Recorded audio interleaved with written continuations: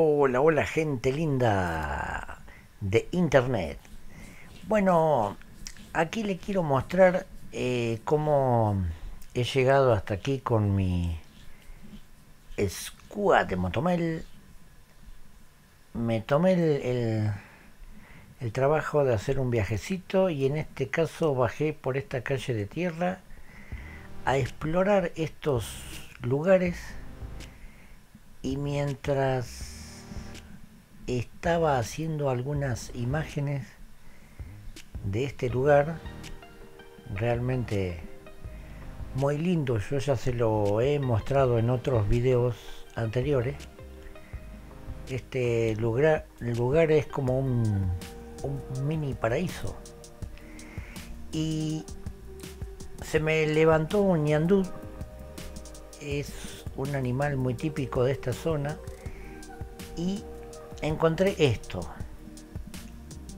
Esto que ustedes están viendo aquí son los huevos que pone la hembra del ñandú y el macho es el que en Cuba. Justo que estaba caminando al lado de la, del alambre, se levantó el macho y se fue corriendo. Así que yo les recomiendo a todos que no toquen ni hagan ningún rastro en ese lugar.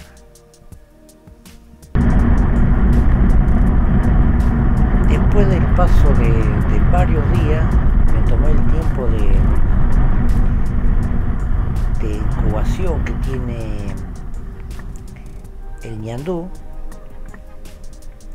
y me vine a explorar nuevamente el lugar para verificar si realmente este ñandú pudo tener su cría. Lamentablemente está muy a la orilla de, de la ruta y cualquiera que pase en un camión este, puede llegar a, haberlo echado al ñandú ya que tiene la ventaja que como es del mismo color de la vegetación cuando está seca pasa desapercibido.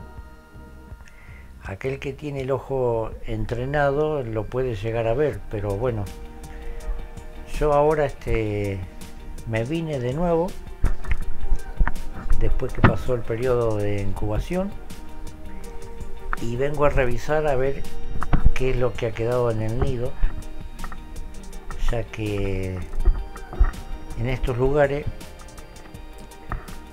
cuando uno no quiere hacer daño y se encuentra con estos nidos no hay que dejar ningún rastro humano ni olores ni nada que se le parezca. Bueno acá encontré el nido está totalmente vacío pero había un poquito de, clara de huevo.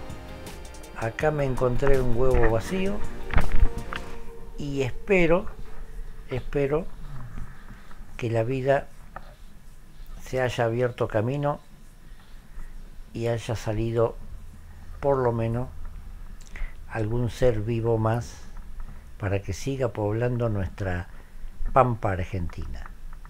Bueno gente, muchas gracias y éxito.